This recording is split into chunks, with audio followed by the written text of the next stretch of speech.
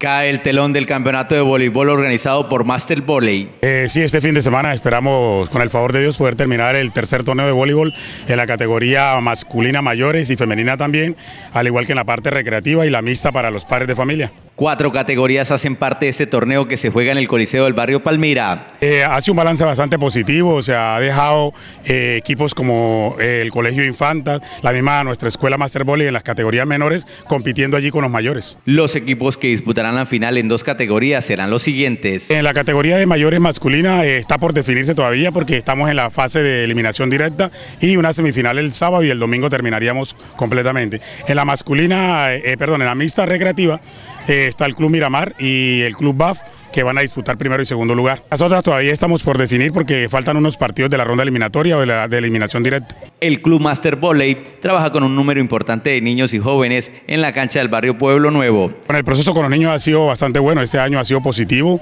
y pues durante el periodo que llevamos de más o menos año y dos meses ha sido bastante acogido por la comunidad de Barranca Bermeja. Entre hombres y mujeres, niñas y niños aquí en, Pueblo Nuevo, que es uno de los puntos, y el barrio El Castillo, tenemos alrededor de 64 muchachos. Han sido más de tres meses de competencia en este torneo municipal de esta disciplina deportiva.